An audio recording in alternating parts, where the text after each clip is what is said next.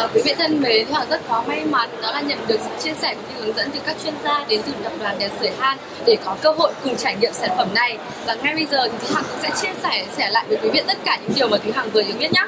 À, quý vị có thể quan sát thấy chiếc đèn sưởi chúng ta vẫn đang ở chế độ ban đầu đúng không nào? Và tương ứng thì trên chiếc smartphone này à, số hiệu chúng ta vẫn đang ở với không đúng không? Và ngay bây giờ nhá, chúng ta hãy cùng một thao tác đó là vút nhẹ chiếc điện thoại của mình theo chiều từ bên dưới lên bên trên với con số tăng dần trên smartphone. À, quý vị có thể quan sát đó là chiếc đèn chúng ta với ánh sáng và nhiệt độ cũng tăng dần đúng không ạ?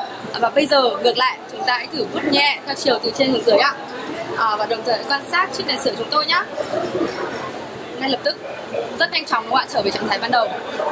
À, quý vị thân mến với chiếc đèn sưởi thông thường chúng ta sử dụng điều khiển từ xa thì quý vị chỉ có thể điều chỉnh theo những mức nhiệt độ và ánh sáng nhất định tuy nhiên với chiếc đèn sưởi đến từ tập đoàn đèn sưởi Han sử dụng điều khiển và smartphone thì quý vị có thể tùy chỉnh nhiệt độ và ánh sáng theo nhiệt độ và ánh sáng trong không gian phòng mình. Hay nhu cầu của chính quý vị vô cùng đơn giản tiện lợi và dễ dàng đúng không nào. À, và chúng tôi hy vọng rằng với một sản phẩm rất hiện đại như thế này thì có thể mang lại cho quý vị cũng như người thân trong gia đình những trải nghiệm tuyệt vời cùng những giây phút vô cùng ấm áp.